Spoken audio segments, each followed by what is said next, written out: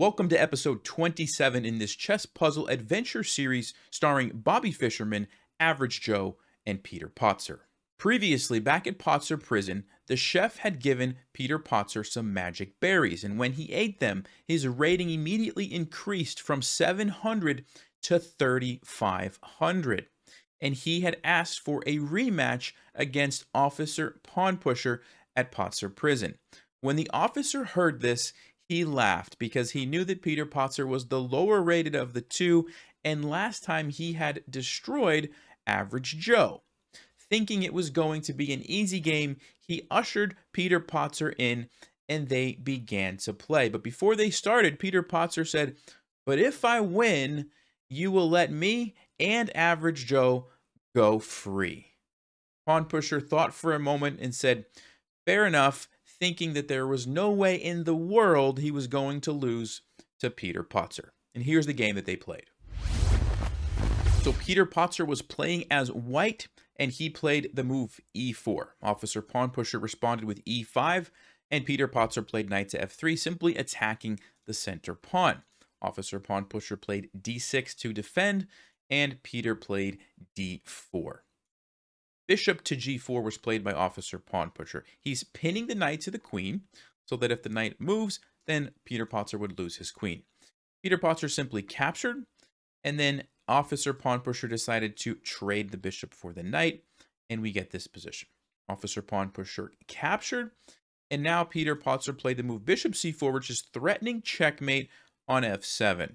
Officer Pawn Pusher chuckled, laughing at such a rudimentary threat, and he played the move knight to f6, simply blocking the queen.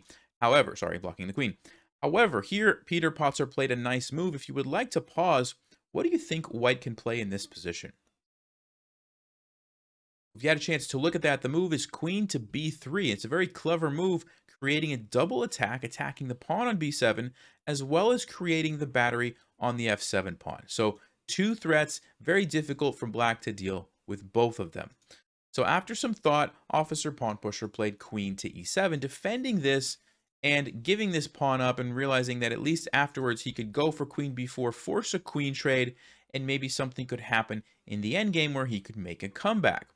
However, Peter Patzer decided, no, no, I'm not going to even take that pawn, and he played the move knight to c3, simply developing a piece. Officer Pawn Pusher was feeling good about this and played c6, which takes away the squares from the knight, as well as unleashing his queen to defend the pawn on b7. And he was feeling like his position was pretty solid. However, Peter Patzer played bishop g5 and created a pin on the knight here on f6. Officer Pawn Pusher played b5, trying to gain some space.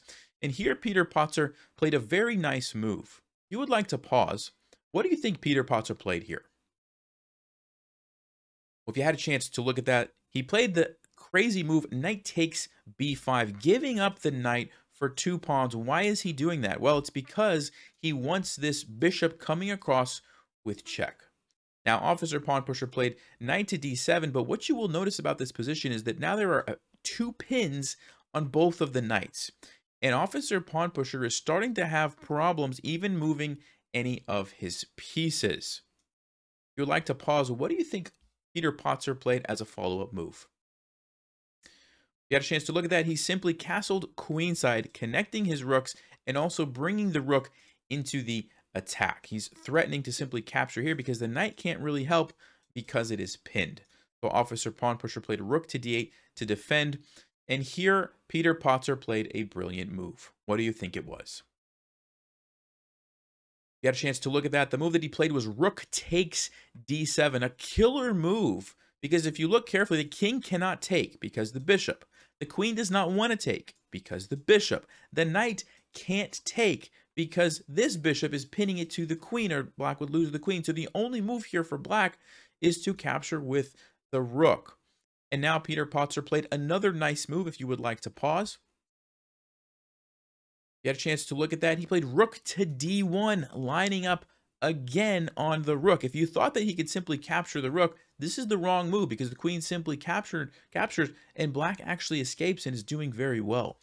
So this was a critical moment. Rook to d1 was the only strong move. And here Officer Pawn Pusher played queen to e6, trying to get out of this jam, offering a queen trade. But Peter Patzer did not want any part of that. He captured the rook. Now, since it's defended with the rook, the queen can't recapture. So Officer Pawn Pusher takes with the knight.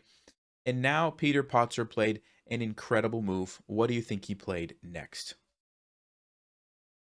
If you had a chance to look at that, the move he played was queen to b8. It's a brilliant move. It's a queen sacrifice. It forces the knight to capture. And the reason is you have the follow-up checkmate with the only two pieces left, the rook and the bishop. This is called the opera checkmate, when the bishop slices across the king and defends the rook, which is delivering the checkmate. An absolutely stunning game. Now, I have a question for you guys. Did anybody recognize this game. It's actually a game that was played in the real world, not just Peter Patzer and Officer Pawn Pusher. Do you have a guess of which game this is? If you had a chance to think about that, this is a game, uh, it's called the Opera Game, I believe because of the opera checkmate at the end, but it was played by Paul Morphy against actually two people. He played against a Duke and a Count that kind of teamed up together, uh, talked about, you know, what they were going to play together, and yet he still destroyed them. He was one of the strongest players of his time. And this is just a really nice example with some great sacrifices. So I hope you guys enjoyed that game. And now let's get back to the story. Now, after being checkmated, Officer Pawn Pusher was stunned, but he kept his end of the bargain and released Peter Patzer and Average Joe from Patzer prison. But as they were leaving, the chef waved at them and said, Don't forget our deal as they were walking out of the prison. The officer had them set down outside of Fire Mountain, and that is where we will continue our story next time as Peter Patzer and Average Joe make their way towards the dragon's lair. They decided to keep their end of the bargain and try to find the dragon's tear to give to the chef. That's where we'll pick up next time. Thank you, and as always, stay sharp, play smart, and take care.